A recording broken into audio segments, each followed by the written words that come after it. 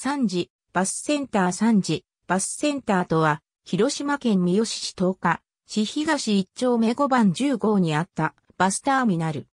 三時市内を走る美北交通の路線バス、及び高速バスが発着する。JR 三時駅からは、徒歩数分の位置にあったが、2015年5月18日に、三時、市東海地南一丁目2番23号、JR 三時駅前に移転し、三時市交通観光センターと解消したと解消している。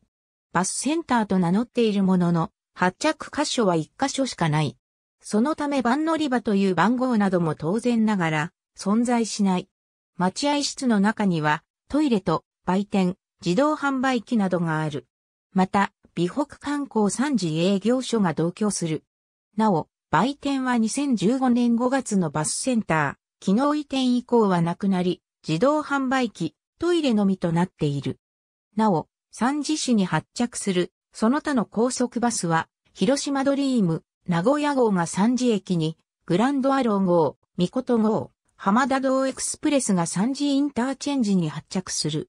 なお、三次市に発着する、その他の路線バスは、三次駅前に発着する。ありがとうございます。